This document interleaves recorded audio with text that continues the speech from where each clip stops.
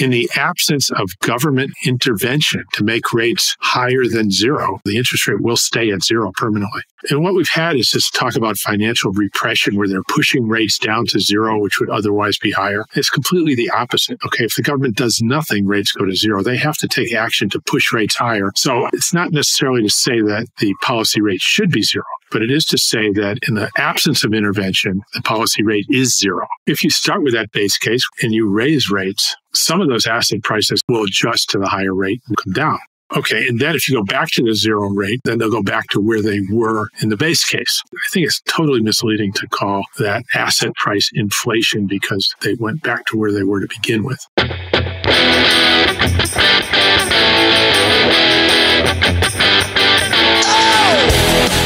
This is the MMT Podcast with Patricia Pino and Christian Reilly.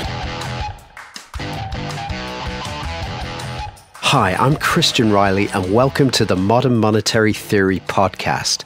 You can find us on Twitter at MMT Podcast, and you can support the show by going to patreon.com slash MMT Podcast.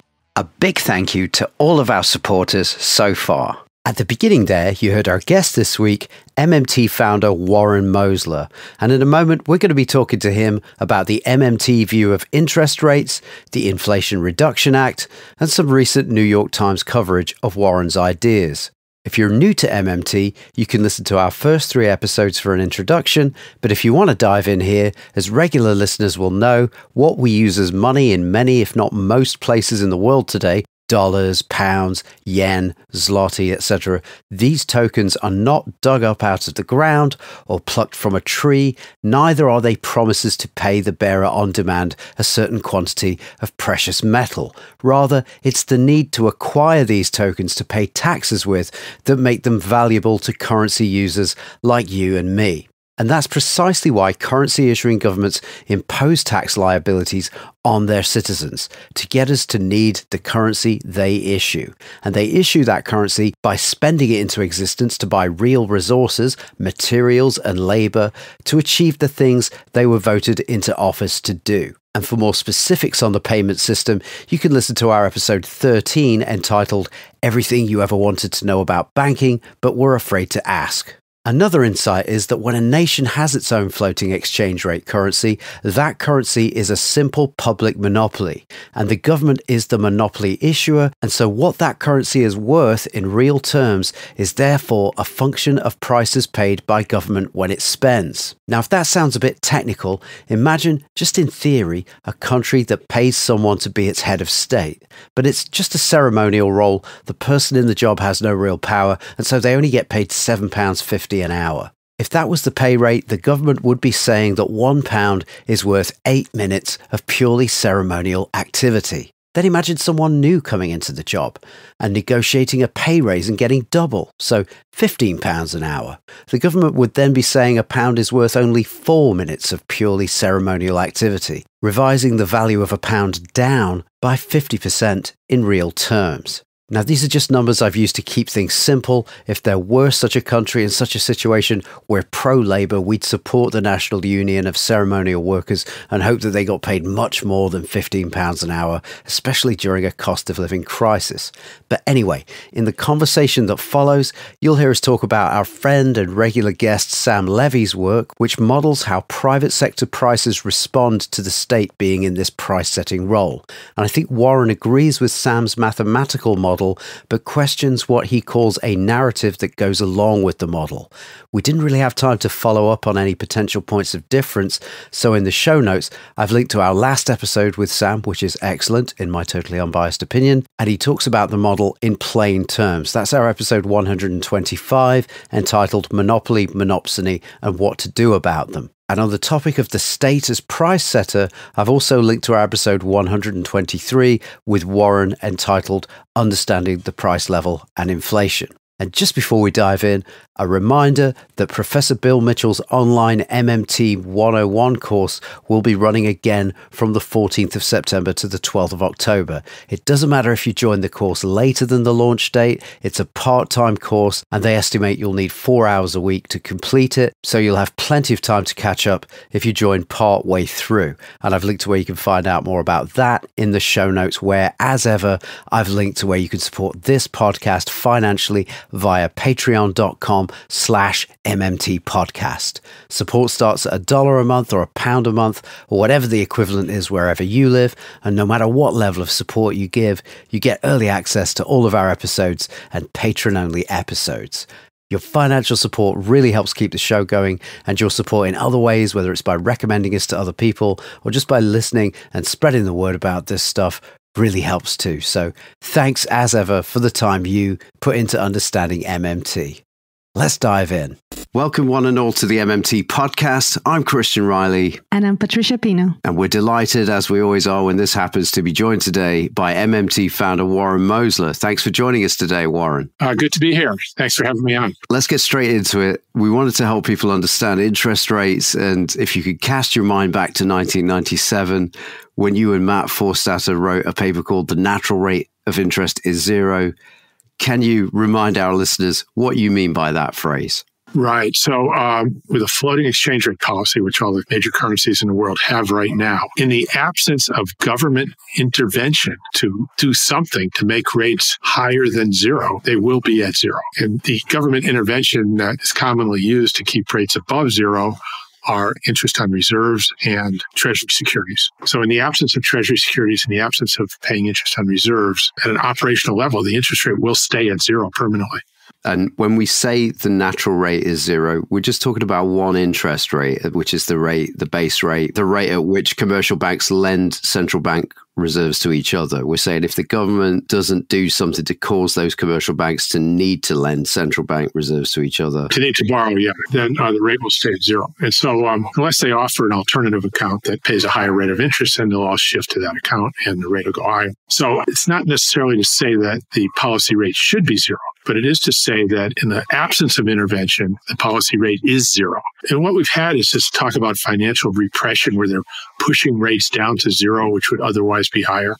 It's completely the opposite. Okay, if the government does nothing, rates go to zero. They have to take action to push rates higher. Otherwise, they won't go up. They'll stay at zero. So, when we talk about a permanent zero interest rate policy, we're talking about this short term interbank lending rate what's called the base rate here in the UK and the Fed's fund rate in the US being zero permanently. That's what ZIRP is. Yeah, it's the cost of funds for the banking system, the marginal cost of funds, their cost of money uh, from the central bank. So it's just that rate that we're talking about. And I'm just thinking about how regular people, home buyers, small businesses, savers, how they experience interest rates. So on top of the cost of funds for banks, I would say a bank's cost of funds is zero. Well, they need to make a little bit of a spread to cover overhead and whatnot and they also are taking risks because you might not pay your loan back. So what you have are risk adjusted interest rates. The risk free rate, the central bank rate, that's zero in this example. And uh, so mortgage rates, uh, uh, where rates are zero, are probably somewhere around three or three and a half percent, maybe a little bit less. Again, for example, you can look at Japan, you can look at the European Union with the uh, zero policy rates, the US when we had zero policy rates.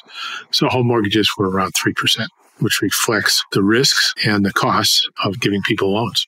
And as someone who used to own a bank, what factors go into determining interest rates that get offered to bank customers, borrowers, and savers? I, I, know you kind of touched on it just then, but maybe just go from the ground up. It's fairly simple in, practice because you know what the other banks are charging. And you know, if you charge more, you're probably not going to get very much business. So the decision is whether to charge the same or less. And then you look at whether it's worth it from a risk standpoint. And more often than not, it was not worth it. so uh, the banks' loans, from what I was calculating at the time, were at rates where the banks were going to lose money. And they didn't lose the first day or the first year, but as soon as any kind of a crisis hit, they all lost all of their capital because their lending standards were much too lax, you know, in, in my humble opinion as a banker. Very often in progressive circles, there is a, a very common kind of condemnation as uh, maintaining interest rates so low. You know, they don't frame it as the natural rate, but they frame it actually that the central bank has been intervening to maintaining rates low and QE and all this. And they blame that for increasing asset prices and almost exclusively uh, highlighted as a mean cause of wealth inequality. The higher rates exacerbate the wealth inequality issue because people who already have money are getting more money through interest. And the higher the policy rate, the more interest they get. People without money don't get it. So on the surface and as a fact, the higher rates directly are a direct subsidy to people who already have money. I call it basic income for people who already have money. And so I would disagree with progressives who have that position. I think they're completely missing the point.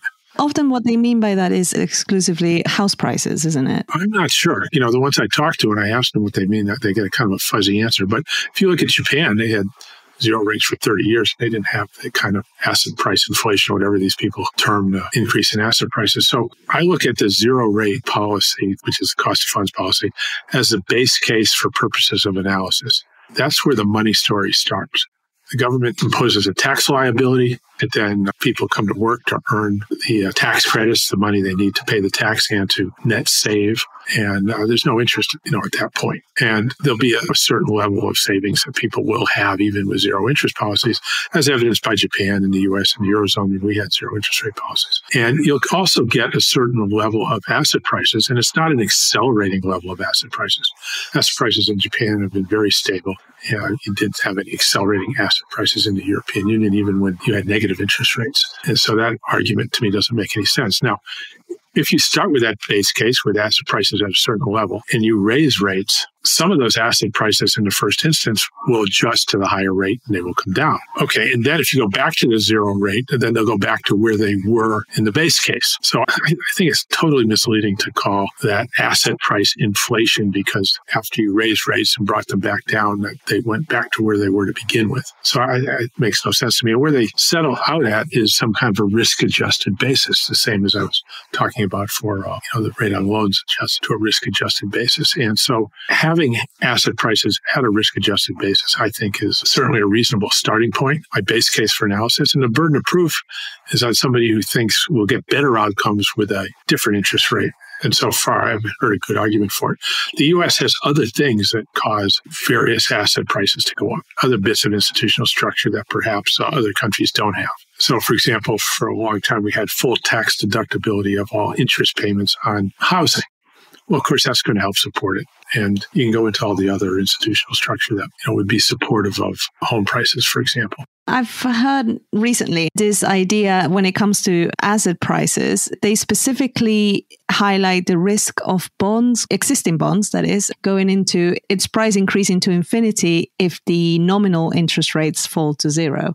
So I think I heard a couple of people suggest that it may be better to leave them at the real interest rate zero rather than the nominal rate. Yeah, well, that's just flat out wrong. In fact, you've seen bonds in Japan that were maybe, you know, one, two, and three percent bonds when priced to yield zero go to some premium, 110, 115, 120, they adjust in price. And they don't go to infinity. The, the return at that price is zero because you gain the um, premium, but you lose the income and that's out to zero. So, you know, that's completely unfounded. I don't know where they got that idea. I've never heard that from anybody serious about, you know, anybody from the capital markets would never say that, for example, or anybody who understands bond mathematics would never say that. Yeah, and, and the thing is that that's really struck me is that infinity is not a realizable number, is it? and and I mean, the, at worst, what could happen is that people wouldn't sell the bonds. Yeah, well, there's no basis for that statement. They will go to where the yield of their bond is equal to the yield of new bonds. So if new bonds are yielding zero and they have a three percent bond, then you know it's a one-year bond that'll trade at approximately a three percent premium will go to infinity. That's just interest rates 101. I mean, that's uh, not, there's no advanced mathematics or anything in that. So, look, a lot of people say I've personally, you know, destroyed the global economy because of, uh, we're all doing MMT or something like that. So, you get a lot of absurd statements out there. that, that, that's just one more of them. you have personally done this. yeah, yeah, yeah. This is this is in a world that has categorically rejected MMT, right? Yeah. but, you know, but, they're doing it, and uh, it's my fault. Something they've categorically rejected, and clearly aren't doing a single policy that I'd ever recommend.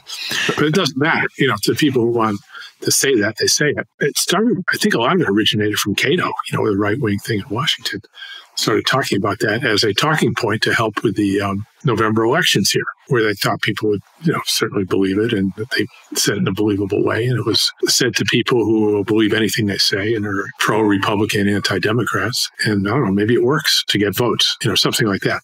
So maybe this thing about going to infinity is working to get somebody's vote who wants higher interest rates. I don't know where it's coming from, but it's there's absolutely no basis to it. Nobody serious who would ever say anything like that. Well, look, the other thing is, let's say the bond prices do go up. Is that particularly helpful to the bondholder? So let's say you had a 3% bond and it's a two year bond and rates go to zero. So now you can sell your bond maybe at 105, 106, something like that. Well, that's fine. But you know, you signed up at 3% and you're going to get just 3% for two years, whether rates go to zero or rates go to 10. And that's not going to change. Now, you might be able to get some money up front, but then when you reinvest your money, you're going to get zero. So it's still equivalent to getting the 3% you started with. So that contract gets honored. It stays there, fine. And going forward, all your future income, your reinvestments are all going to be done at zero. So it's not like it's a big plus for existing bondholders, unless you have a leverage position and you were just making a bet on interest rates. You know, that, that's a different matter. But for actual investors, it doesn't matter one way or the other all that much. Just before we move on, there are some people out there on the internet, including Larry Summers. who seem to think that anything that goes wrong in Turkey is the fault of MMT. The floor is yours, Warren. What do you think the Turkish central bank should be doing? Well, first of all, you know, this talk picks up as we approach Thanksgiving every year. Very good. so, but when you say should be doing, you know, how, how can we, what do you presume they're desired outcome is. If it's exporters who are in control trying to keep their costs down and optimize their profits, they're probably doing a pretty good job right now. you know, otherwise they wouldn't be doing it. So if their desired outcome was uh, full employment and low inflation and high levels of prosperity, sure, I can give you some recommendations, but that doesn't mean anybody in charge there has any desire for that outcome, right? is it your feeling that the exporters are in charge? It's- yeah. I, I think they're getting the outcome they want right now. And when they put these policies in place and people argue they're inflationary, I'm not so sure they don't want that. You know, nobody ever discusses that might be a possibility. What's interesting is when you get a lot of inflation, the government gets to pick winners. So they raise the minimum wage 50%, you know, regularly to make sure that those people are kept whole and that becomes their constituency for the next election. And they can keep those people perpetually ahead of a lot of other people and you know ensure their political status. So it's a political tool, right? And uh, so before you can give a recommendation, you, you have to know what the desired outcome is. I think what I'm maybe interpreting from what you're saying is that there is a conflict there, and that the politicians really don't want to resolve that conflict, but rather they want to play to both bands without really solving this issue. So you can't please the exporters while at the same time increase the uh, minimum wage. Is that what you're saying? You know, they are regularly increasing the minimum wage. It's still relatively low, but that ensures that people earning the minimum wage keep up or stay ahead of inflation to the expense of other people who may be falling behind, right? Fixed income people or things like that who aren't working. And so it's continually affecting the distribution of real wealth and directing whatever proportion the politicians want towards minimum wage workers and people who make a spread off of minimum wage. So to wage earners. And those are probably their strong supporters. The, uh, I think the administration gets pretty good popular support and it's figured out how to do that, it appears to me. So uh, before you're quick to criticize anybody for ignorance, take a closer look to make sure there isn't some design behind it, you know, we're not seeing. The reason why I say it is this, and maybe I'm a little bit offshooting here, but right now in the UK, we have this issue with energy, and everybody knows that there's some shortages. And the government doesn't seem to be doing anything other than just simply reducing taxes on, you know, doing things that will may be popular, but ultimately do not resolve the problem. Yeah, so I think the UK is very different in that regard from Turkey, right? For now. so, yeah, I mean, I mean, structurally, obviously, the economy is very, very different. I'm just uh, interesting to see the same kind of political challenges in both places. Yeah, well, again, I think they're very different, right? The political challenges are very different. I think exporters have always been, certainly in my lifetime, in control in England. Look who gets knighted, you know, the biggest exporters, right? People buy a couple hundred million Beatles records and they all get knighted, you know, overseas because they're, they're major exporters. And, you know, London's always been operating that way, right? As a center for that type of thing, particularly financial services and everything else. And so uh, that's the design of the country. Moving on to some recent media coverage. Recently, a New York Times columnist wrote about your idea that interest rates work backwards to the way that, let's call them trad economists, think interest rates work. Do you have any comment on that article at this point? Yeah, the interesting thing was he talked to Professor Michael Woodford from Columbia, who's the go-to economist for the Fed, speaks with them regularly. You know, he's at their conferences type of guy, and he's the guru of Keynesian monetary policy and monetary policy in general. He's the insider's insider on monetary policy. And in his response, he said, should the interest payments of the government become a problem, that stimulus, he called it a stimulus, which is what I've been saying, can be reversed with a tax increase or spending cut. Well, that's my whole point what they're doing is a stimulus that sure could be reversed by a tax increase of spending, but that's not what they're doing. They're just doing the deficit spending flat out. So he supported that part, that, you know, what I was saying there. And then Paul Krugman, when they asked him about what he thought about Michael Woodford's comments, he says, well, he agreed with Woodford, which he wouldn't dare not agree with Woodford. None of those guys would, because he's the one they look up to, and he's the one that's, he's the brains of that, what's called organization, the New Keynesian organization, and, and the whole, uh, you know, basis of Federal Reserve monetary policy.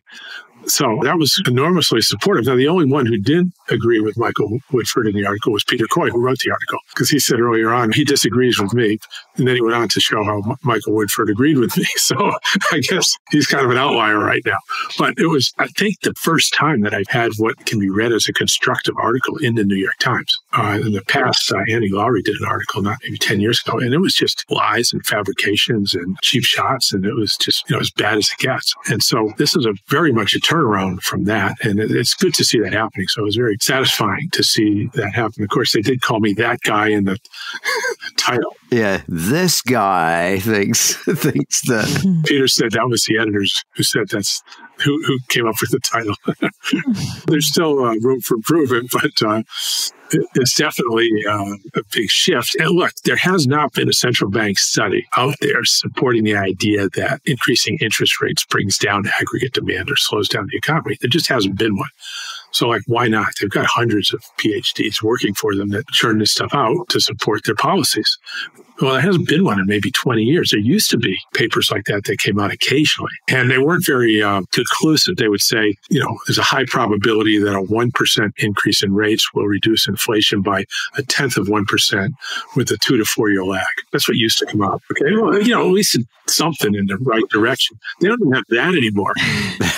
That's real tea leaf reading, isn't it? Yeah. And they commission these studies to universities everywhere, and they just haven't got a result they can publish that they desire to publish, I think. And yet it's conventional wisdom. Yeah. And so your fringe, I'll call him that just for fun, central banker uh, Richard Werner, he came out with something maybe 2017 or 18 saying that interest rates lead the economy. You know, they cause it. When you raise rates, it causes GDP to go up, but not down, you know, or, you know, they add to aggregate demand. And he had a fairly comprehensive study that led him to conclude that, which is the same thing I was saying, but he's not Michael Woodford, but he's you know, central banker who did come up with that. But that's the law. I mean, there's nothing, nothing came out refuting what he was saying. And that's the interesting thing. You wouldn't expect Fed papers to start coming out that say uh, Chairman Powell has it backwards.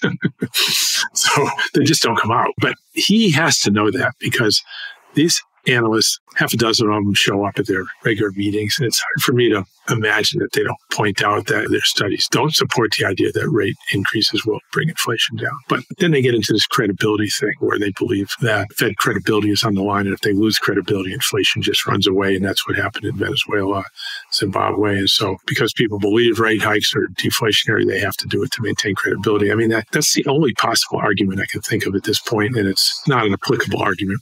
Is it because if they were to admit that it doesn't work or it, that it's very poor or that the evidence is a bit hazy, they have nothing? Right, which is the actual fact, right? yeah. Yeah, but they'll have to admit they have nothing. right, right. So then they're afraid of what would happen to a world where it was understood that central bankers, you just leave rates at zero. If you raise rates, you're going to make it worse. The best you can do to fight inflation is to leave rates at zero. That's your maximum inflation fight. It's a fact, okay? And it's all the data shows it. So they're afraid, I think, that if they were to admit that, that it would just be chaotic. I mean, that's their entire job, isn't it? Yeah. Look, either you believe in an informed electorate or you don't, right?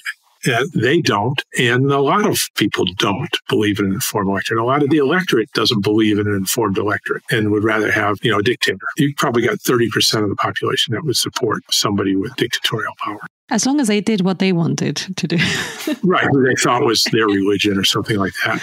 They would do that because they don't think people are in a position to make good judgments for themselves. And, you know, that's that's an interesting discussion of itself.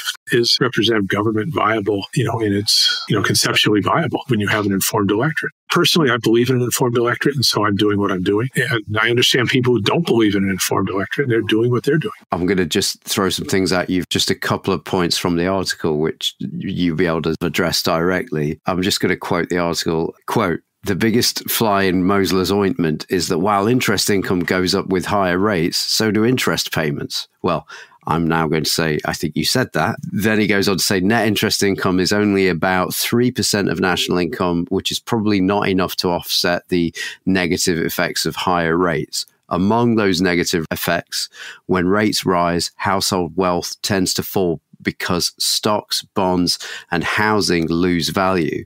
Then there's the effect on investment. Even if higher rates don't harm business capital spending, they're murder on housing construction, which is sensitive to higher mortgage rates. Close quote. What do you say to that?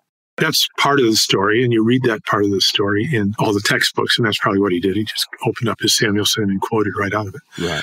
And it's not wrong. You've got winners and losers, but the winners are, you know, as your debt, public debt goes higher and higher, the interest payments get higher and higher, and government is a net payer of interest to the economy. And at some point, the debt to GDP is high enough where the winners overwhelm the losers by a large margin. And that's what Michael Woodford was saying. That's why he was agreeing with me that there is a point, and he hadn't really looked at his models to determine whether that point was 70% debt to GDP, you know, 100%, 120, which is where we are. I think the UK is at around 100 or 95. Back when we were at 60 ish, 55 and 60, I brought this up. That was in the 90s. And I thought at the time that was probably high enough to do it. And the discussion was, well, no, the propensities of, you know, the damage done by higher rates to some people is disproportionate to the benefits to everybody else earning this flood of interest income. And I said, okay, fine. You know, that's a subjective guess that people were making. So I look at the data to see which one seems to be winning. And even back then, it seemed to me that the argument was in my favor, which is why I was making it. And now with debt to GDP at 120%, I think it's overwhelming. So what you have is in the, in the economy away from the government, for every dollar saved, there's a dollar borrowed. Banks have loans and they have deposits, and they're equal to the penny. When you include you know everything in the private sector, they have to be. And so uh, when you raise rates, for example, borrowers are getting hurt; they have to pay more, but savers are being rewarded. They're getting exactly that much more to the penny, and that's savers are lenders. So borrowers are hurt, savers are benefit to the penny. And so the argument is that well, yes, savers are helped, but they don't spend it all. But borrowers are hurt, and it really affects them much more drastically. You know, they cut back more than the savers would increase. And the technical word is that the propensities to spend interest income are higher for borrowers than they are for savers. There's a big difference. And I used to visit the Fed regularly, and there was a uh, officer there named Steve Oliner. He was there for a long time. He just retired a few years ago. And his job was to actually do the econometrics and determine how much different these borrowers and lenders were. So the Fed had some idea when they increase or decrease rates, how much the lenders would get hurt and how much the savers would get helped and uh, the lenders would get helped to just see what those actual propensities were. And he said to me, he says, well, you know, we believe and we act accordingly, but we believe that the propensity is much higher for the borrowers, that they're more sensitive to changes in rates than the savers. He said, but you know, I've been doing the econometrics for the last 10 years and I can't detect it.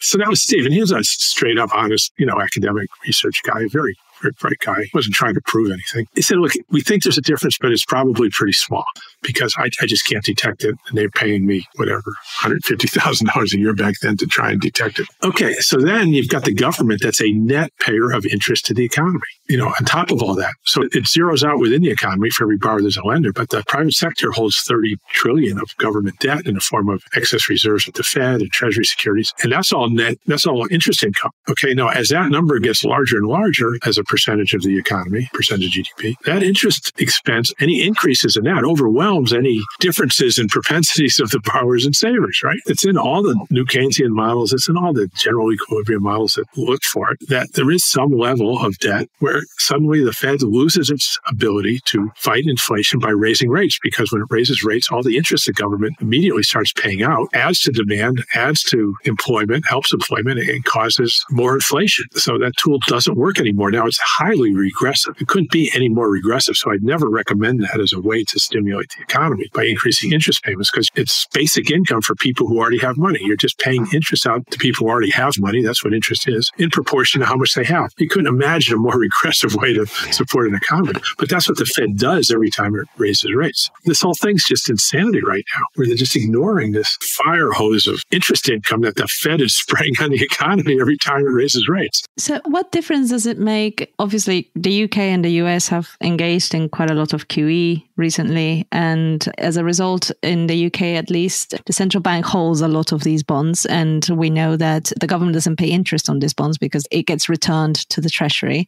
So, how does that impact on what you're saying about raising rates, increasing demand? It exacerbates it a little bit because when the central bank, Bank of England, buys them, it pays for them by crediting accounts, you know, reserve balances with pounds that weren't there before. Okay, so if you sell your securities, your gilts to the Bank of England, you had a million pounds worth, and they pay you a million pounds. Your asset has shifted from holding a gilt to holding this overnight balances at the Bank of England. And then when they raise rates, they start paying you interest immediately at the new rate on those funds. It reduces the maturity, the duration of public debt. So more of it is short term. So more of it's immediately subject to paying more interest. You don't have to wait for the bonds to mature to get more interest. You get it right away. It's overnight deposits. It's like cash. And so they've substituted cash for bonds that earns interest. So when they raise rates, they just start paying out more interest to all the holders of reserves. So it's the same number of balances, but it's more sensitive to short term rate increase. So, what will happen now when I believe both central banks of the US and the UK are saying that they're going to offload their balance sheet? So, basically, I guess, return these bonds to the private sector? Yeah, they're going to sell them and then you'll pay for them with reserves. They'll do it at market levels. So, with higher rates, they'll get lower prices for those bonds. Whoever buys them will earn more interest than they would have before the rate hikes. It doesn't really change much of anything, actually. It's just swapped back at market levels. So, it's, it's nothing to see there, as they, as they might say.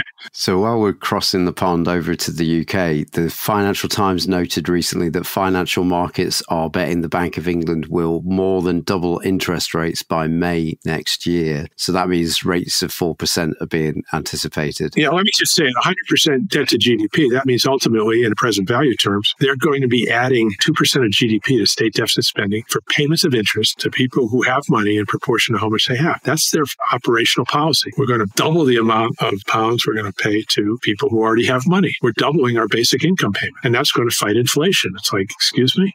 There's a popular economics blogger over here in the UK who wrote a piece in reaction to this news about the anticipated rate hike. And I just wanted to check the monetary operations descriptions in the piece were consistent with MMT. They wrote that, quote, quantitative easing inflated commercial banks' cash balances. Okay, so can I just stop you there for a second? Okay, cash balances went up. Now they say inflated. Why did he use that word? Because they're just trying to be sensational, right? Okay, so yeah, when the government buys your bonds and pays you, your cash balance goes up and the balance in your securities account goes down. If you had savings accounts in Barclays and they came due and they put the money in your checking account, your savings balance goes down and your checking balance goes up it's okay. I mean, nobody even takes notice, right? So, to carry on the quote, this was money the government effectively spent into the economy and never taxed back. Yeah, but I mean, it did spend it, but it bought your securities. Yeah. So, we would say swapped. Yeah. You know, if you buy a financial asset, it's different than if you buy goods and services. Spending normally is applies to goods and services, but it's not technically wrong to say it spent it, but it, it was uh, an exchange. It didn't change the net financial assets in the system. It didn't change anybody's wealth or anything to sell a million pounds worth of gilts to get a million pounds in your bank account. You're, you're even. Okay. Let me try that again. This was money the government effectively spent into the economy and never taxed back, meaning it stayed with the commercial banks instead. And they, the commercial banks, have saved it with the Bank of England. Yeah, it's sitting in their account at the Bank of England. And the gilts and securities accounts has gone down. I think that's the missing piece. Yeah, the other thing is it's not the banks that sold the securities. It's other agents in the economy who are customers of the banks. And so the banks have balances at the central bank, Bank of England, as an asset. And on the liability side, they have deposits that are owned by their clients. So you might have had a large pension fund that sold the securities. The money goes to their account at Barclays at the Bank of England. So Barclays has that money at Bank of England, but the pension fund has that money in their account at Barclays. So it's at the Bank of England, but it's for further credit to the pension fund. So they're acting as an agent for the pension fund that actually sold the securities. So Barclays itself isn't any richer or anything like that. They're just the broker here. So that kind of feeds into the next passage that I just wanted to check with you. And this is kind of where it ends. Quote, the Bank of England pays its bank base rate on these deposits. Let me just say yes, but then Barclays has to pay the pension funds the rate. So again, it's a pass through because it's competitive. If they don't, another bank will. So then we go on to say when the rate paid by the Bank of England was 0.1% not very long ago, that meant that the cost of these cash deposits, effectively paid by the government, was less than 1 billion a year. If the interest rate moves to 4%, the cost will exceed 36 billion a year, and that's all profit to the commercial banks that will be entirely paid for by our government. Okay, so to the extent that those deposits are for further credit to the pension fund, you know, banks have assets and liabilities, they have to pay at least the same amount of interest generally to their depositors, or else they're also going to lose the money and they'll go to another bank. And so, only to the extent that Barclays itself is in a net long cash position will they earn the extra interest. And I'm not sure how much that is. It's probably something, but it's not particularly large. So that whole figure, 36 billion, is not. You know, it's sensational. What he's saying is sensational. He's just not fully aware of the um, monetary operations. He gets part of it and he gets a lot of it right, but there's still elements that escape him and that he uh, gets wrong. And, you know, as, as I broke that down, you can see how it's kind of a mixture where the things that aren't technically wrong, but their implications are not what he thinks they are. It is bad policy, but I don't think it's bankers bribing the Bank of England to give them more money because they, like you just said, they don't get the money. It's a pass through, right? That's right. Well, they, they were asking for a higher interest rates for a very long time.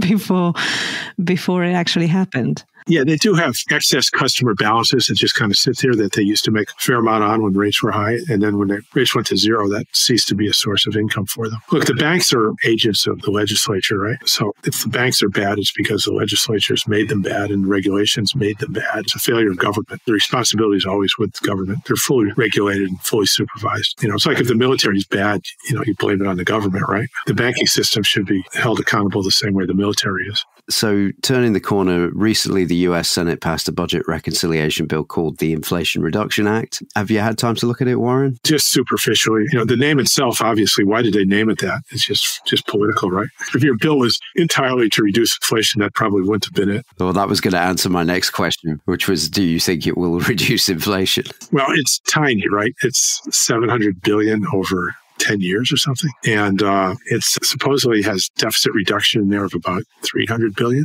So to the extent that that reduces demand, you would think that would be a deflationary bias, you know, to be taking money out of the system. But again, it's tiny over 10 years and a lot of it's delayed and it's indirect. Okay, corporate tax increases indirectly reduce demand. There are a few things in there to support, I guess, Green New Deal, you'd call it. And a lot of those are ultimately, while I support them, they're, you know, they decrease productivity. It takes more labor and materials to produce the same amount of energy or whatever the output is from the program than it does otherwise. And that raises costs. So that makes, you know, those things relative relatively more expensive. And so I would call it inflation reduction. Now, it might be inflation reduction in the sense that what it's replacing is going to get more expensive. And so you kind of have the counterfactual of that by using less oil, which is going to get more expensive we're helping inflation. So, you know, I can't say it's wrong or anything like that. So, through the MMT lens, we would say unemployment above zero is evidence that the government deficit's too small. And the Inflation Reduction Act is explicitly aimed at deficit reduction. So, this legislation is playing into the narrative that government deficits cause inflation. So, it's wrong in that sense, but at a practical level, does it actually do that?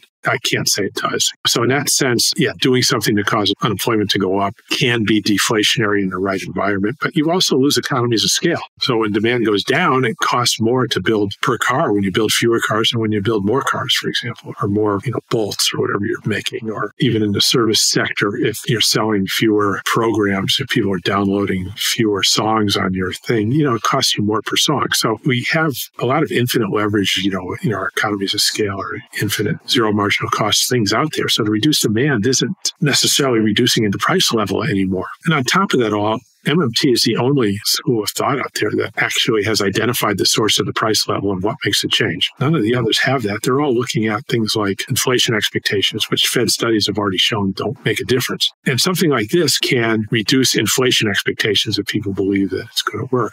And so people who still believe in inflation expectations would say, therefore, it brings inflation down. Kind of like Powell at the Fed might, Jerome Powell might believe that raising rates reduces inflation expectations, even though his own studies show that doesn't matter. And so therefore, it becomes deflationary under this discredited narrative that inflation expectations matter. On that issue of MMT saying who sets the price level and this idea that the government sets the price level through stating what it's going to exchange for the thing that it issues. Yeah, it's a monopolist monopolist set price. It's micro 101. It's the first thing you learn. It takes 15 minutes. So in practice, usually when the government accepts a higher price, as you say, it's usually because the market in inverted commas is, is asking for a higher price and the government agrees to that. Is the government in any position to say say if it needs additional workers to say, no, I'm just going to pay this. What would be the alternative approach? Yeah, I mean, it can do that, and it's kind of an ugly process, and the prices will come down. So, government contracting is set up to be competitive and whatnot, and whoever is deciding who to hire and when is looking at what their effect is going to be. And, and so, how you do these things matters a lot. And so, when you have countries that are more aggressive and just buying whatever they want, whatever the price is, you'll see, you know, the price level will be shifting much more rapidly. In the US, the base level of price shifting due to those factors you're talking about has been around 2% historically for a long time now. And it's kind of baked into how the government spends and what it does when it hires and what it does when it contracts and what requirements it puts on contractors. The contractors are all in a position to uh, try to maximize profits, so they want their costs as low as possible. So they're not going to go out pay higher prices for labors or materials or anything like that. And so that whole process has resulted in relative price stability. Now, of course, you get into a war or something like that. The government now needs 10,000 new missiles for their rocket launchers or something. And they just go out and pay whatever. They have an unlimited budget to pay whatever it takes. You're going to get more pressure on the price level with, with that kind of a policy, right? Rather than one that's cost sensitive and price sensitive. So it's all part of the total institutional structure. Because uh, I don't know if you've seen uh, Sam Levey's model on this specifically. You know, I did, and I talked to him about it, and I think the model's okay, but the model comes with a narrative on the model. You know, I, I would question the narrative. He says, "Well, you're right, but in the model, it's the way you say." So I'll, I'll take his word for it. Because he talks about uh, a primary kind of seller, the government being the, the, the monopoly issuer of the currency, but they're also existing kind of a secondary market for dollars that are already out there, let's say. And uh, what I like about it is that eventually the secondary market comes into whatever the government is doing because it has no choice. Okay, but look, when you have unemployment, it means there aren't as many dollars, quote, out there saved as desired. And so there's a shortage, which is a deflationary bias. If you had a job guarantee, then it would be neutral, the dollars out there. Right. If you had a job guarantee or you pushed beyond 2% or zero and spent beyond that, well, then, then the dollars out there are continuously adjusting the price level lower. And, you know, he'll agree with me when I tell this narrative, and, and it might contradict something in his narrative, but then he says, well, what you just said is that is how the model works. What I liked about it is that what you explained about it, yes, the government can do some things, but it's hard to do it. And this idea that eventually the private sector has to come in line with what the government is offering but it may take a while to do that and it may cause some problems. So there's an incentive for the government to just simply fall in line with whatever the private right particularly when there's no real cost to increasing the price level. It's, it's a distributional issue which fiscal policy takes care of and i touched on turkey about that. It can be used effectively for a progressive agenda so there's no real cost to just paying the higher prices and letting the price level reset at a higher level. So if you have an institutional structure that's forcing you to pay higher prices and you're resetting the price level upwards, value of the currency downwards by 2% a year, you know, there's no cost, real economic cost. So to fight that, there might be a real economic cost of disruption and everything else, the lack of demand that, you know, hurts your whole economy. So from a real cost basis, it might be beneficial to everybody to simply allow the price level to go up, given the, the institutional structure. Now, you could change the institutional structure. You could change the contracting processes. You could change regulation of monopolies in the economy and you could change our enforcement and do things like that. And that would certainly help keep the price level from going high. Or you can just let it go higher, in which case, again, there's no cost, but there are distributional consequences. And then those are fairly easy to address. The problem is people don't like inflation. And if you take that path, even though everybody's better off and everybody's wealthier and their standard of living's up, you're going to get run out of office because you uh, devalued the currency, you're robbing people's savings or whatever they do. So what's politically successful is not necessarily what optimizes prosperity and social equity. I was just going to say maybe this is a bright spot, but maybe you guys will tell me otherwise. But the Inflation Reduction Act does aim to lower prices through the prices paid by government in terms of Medicare drugs. Sounds like MMT. Yeah. So that prescription drug thing is all my fault, you know. yes. Have you heard the backstory on this? No. So it's 2003, maybe the election was 2004, and George Bush is running, and the economy's bad, you know, after the crash after the recession. And I have this car company, the MT900, and on my board is a guy named Dave McLellan from General Motors and Joe Zymek from Ford. And he was the head of Corvette for 17 years, a super nice guy. And, and I was talking about the economy and what needed to be done. And he said, Well, you know, we know Andy Card. So Andrew Card was the uh, chief of staff for George Bush, and he was a former General Motors engineer, and they'd worked together. So he says, "I'm going to try to get you a meeting with, with Andy and you guys can talk? He's a sharp guy. So I said, okay. So he sets up a meeting at the White House in the West Wing. And Elizabeth and I, my wife, we, we go to the White House, you know, to meet with Andrew Card. And we walk by all the photographers. Of course, they don't take our picture or anything like that. And then we're in the waiting room and he's late and they have a bowl of miniature Snickers bars, which Elizabeth puts in her purse for souvenirs. and then uh, we go into the meeting and he's a quick study super nice guy. They cut interest rates to 1%. And I explained to him why that isn't going to help. Same thing, interest income story. And he goes, Yeah, why would anybody think this is going to work? And it wasn't. You know, the economy was bad. Then we talked about the budget deficits and how the accounts worked. And he picked it up right away. And he goes, Well, you know, how big does this deficit have to get? And it was about 200 billion or something at the time.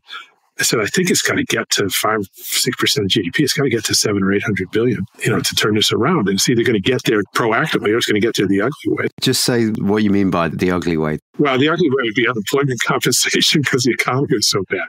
It was a running running deficit and uh, welfare. You know, uh, transfer payments picking up for unemployment compensation, welfare, all these payments that go up in a recession because unemployment was high. I said, all right, you know, to turn this around proactively with either tax cuts or spending increases. And he says, you know, how much does it need to be? And I said, I don't know, maybe seven or eight hundred billion. He says, we don't have much time, do we? I said, no. so it was a it was a half hour meeting that ran 45 minutes. And he, you know, he's an engineer. He's right on top of his stuff. And he said, thank you very much. And I got a nice letter from him afterwards. And within a week or so, somebody asked President Bush about the deficit. And I wasn't like a Bush supporter or anything, but it's, you know, as a president, I want, as an American, I wanted to see us do better. And uh, the president said, he said, look, I don't look at numbers on a piece of paper. I look at jobs. That was a quote right out of it. I'm sure it came right from the meeting. And uh, after that, he did not veto a single spending bill. That's when they increased Medicare. They did prescription drugs for everybody. They were just trying to spend as much money as possible. They did every tax cut possible. They had retroactive tax cuts to the year before where they're sending everybody money back.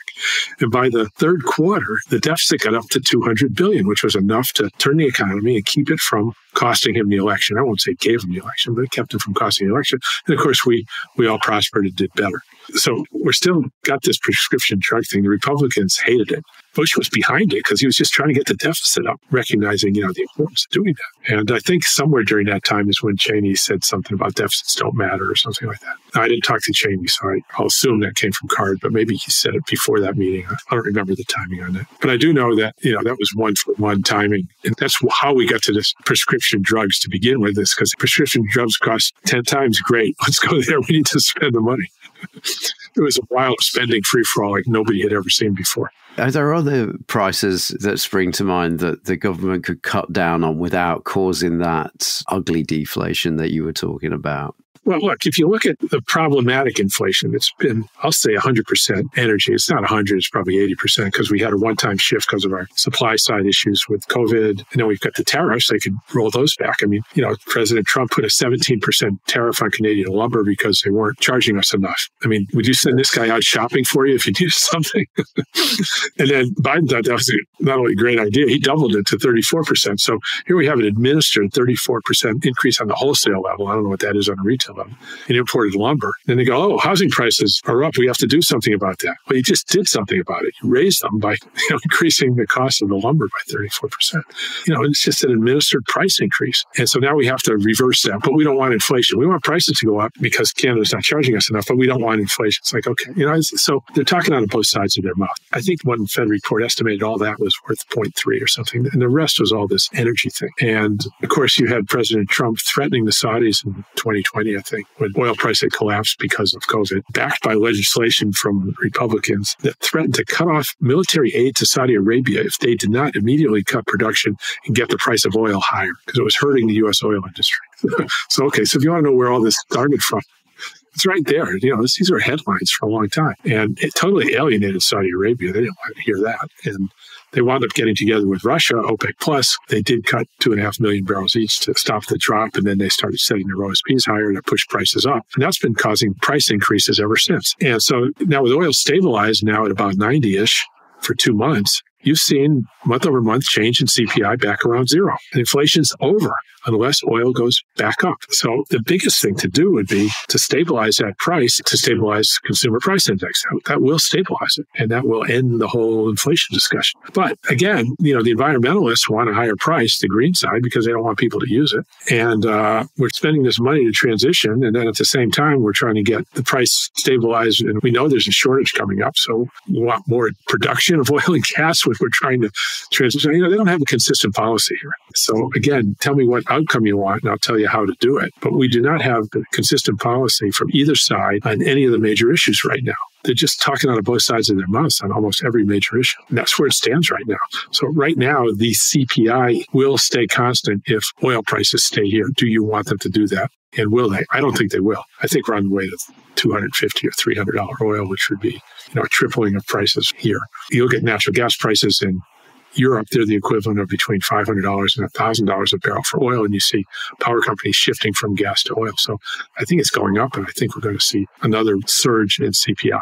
And if they raise rates, it's just going to exacerbate the problem by paying more money out, throwing gasoline on the fire. Especially as we're going into winter as well. Yeah. In the past, you've talked about how it makes very little sense to leave oil prices to the spot market, and then it might make sense to come to longer term arrangements. You talk about that? Yeah, back in the time, oil was fifty or sixty dollars a barrel, and there was enough Canadian oil and Mexican oil to supply the U.S. needs. And we were in a position where the government could have negotiated with Canada and with Mexico for a thirty-year contract at seventy dollars a barrel plus CPI increase or something like that. And that would have been enough for them to justify the investments needed to supply us with that amount of oil, and the price would have been stable, and we would have not had this whipsaw in consumer prices due to energy prices. The risk is to them if oil went a lot higher higher, they were leaving money on the table. And if the price went lower, we were overpaying or something like that. But, you know, in exchange for dead solid stability for 20 or 30 years, it was all there to be done, but there was no discussion or thought about that whatsoever. Other commodities, it's very different. So if China wants to buy meat, they don't just go into the spot market. They fly a delegation down to Argentina. They talk about how much they want over 20 or 30 years. They go out and look at the land, you know, where it's going to be raised and what the investment is. And then they contract with Argentina, who makes the investment at a price that's favorable to both sides. And then they start raising cattle and selling them cattle for the next 30 years. And so most commodities at that level are done long term contractual basis as much as possible. In oil, it's just all left in the spot market. And we continue to have this volatility that is highly problematic with no sign of it ending until we recognize the advantages of contracting longer term. I don't know what else to tell you. I guess they'd call that socialism if the government did that, right? yeah. And it would be your fault. Obviously, everything's your fault. It's my fault. Yeah, be um, in light of the fact that a Chicago businessman just gave $1.6 billion to a foundation that's been funding efforts to reshape the US judiciary into an even more conservative set of institutions than they already are, I thought it might be a good time to just ask you to recap your 60 40 campaign finance rule. Yeah, right. So under, under that rule, he can give us 1.6 billion, but you know, 40% of that, which is how much for 640 billion would go to the opposition and the rest would go to those. So they'd have equal money to fight it. And so he can't drown out voices with those kinds of distribution. And there's no government money involved. And if he realized that's what was happening, he might not do it at all. I think it's a genius idea in its simplicity as well. And 60 40 is my opening remarks. It could be, you know, 55, 45, whatever. Unfortunately, we're out of time, so that's where we'll have to leave it for now. But thanks so much, Warren. We've been speaking with MMT founder Warren Mosler, and we'll link to where you can stay current with his work in the show notes for this episode. But for now, thanks so much for joining us once again today on the MMT podcast, Warren Mosler. Anytime. Take care, guys.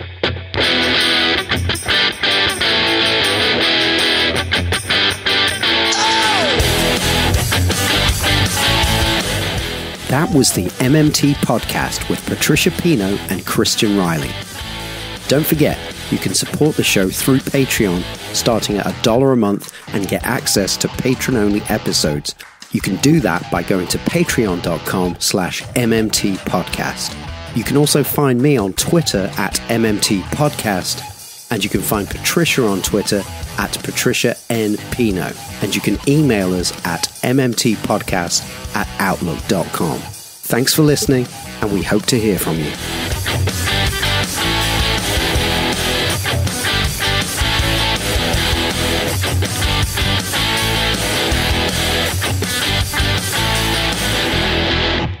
So he's the ex chancellor of the exchequer. Yes. No, that actually, that's two negatives. That makes him the chancellor of the Chequer.